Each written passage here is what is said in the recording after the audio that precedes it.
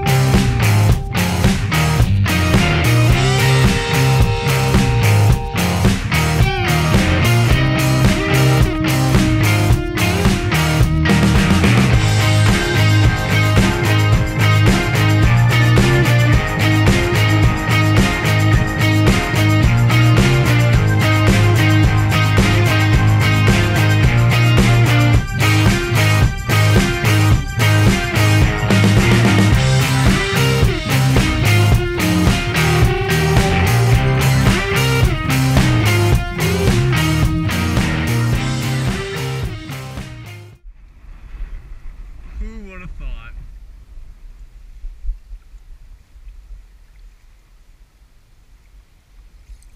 Yeah! Mikey, yeah!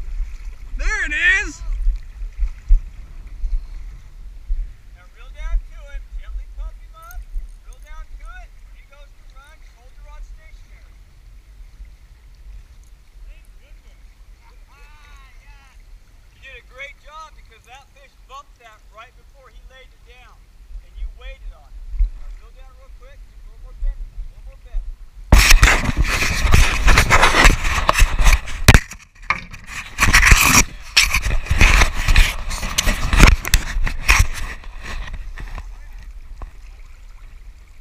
What'd you say, Mike? Not like those little fish that Greg's been getting? I think it was the jokes you were telling. You didn't have that thing on then. Oh, I'll, I'll bleep it out. Yeah, I hope so. Oh, yeah. Neil was on there swearing about 20 times yesterday, so they'll all be bleeped out. YouTube doesn't like it when you hear cuss words on their videos. Hey, that's a salmon.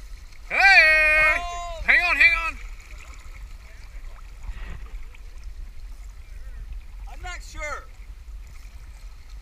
I could be wrong. No, I think.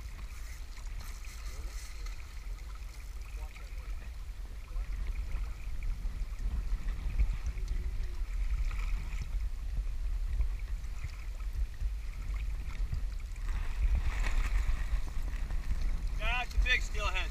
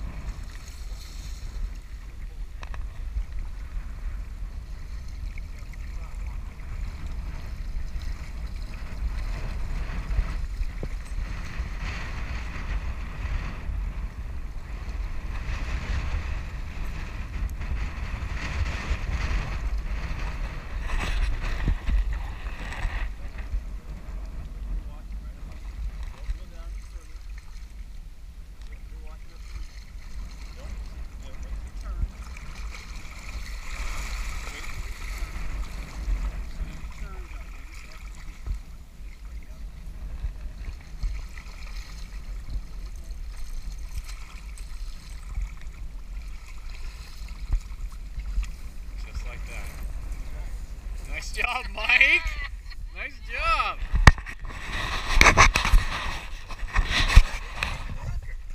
Nice job. Nice job, dude. So this is what tells you it's a hatchery fish. But it's, it's clipped. Clipped is not there. Yeah. This is maxillary bone.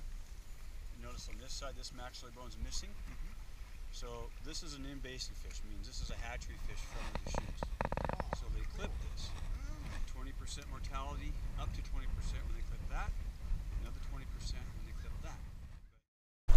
Hey everybody, thanks for watching the video today. We had an amazing day out on the river and yeah, I might not have caught and reeled one in myself, but Mike, Greg, and Neil had a hell of a time catching fish today. So as a group, we went seven for 10, which on, on, a, on a day like this, uh, I can't complain. The views were amazing and we end up getting two keepers at the end of the day. So all in all, can't complain at all. But thanks for watching the video, everybody. And until next time, the outdoors is a gift. Share it with others.